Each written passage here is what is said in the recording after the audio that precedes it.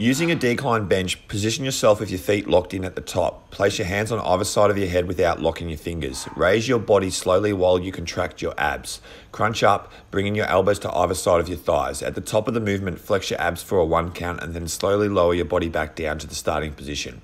Be sure to keep at least an inch or two of space between your back and the bench at the bottom of the movement.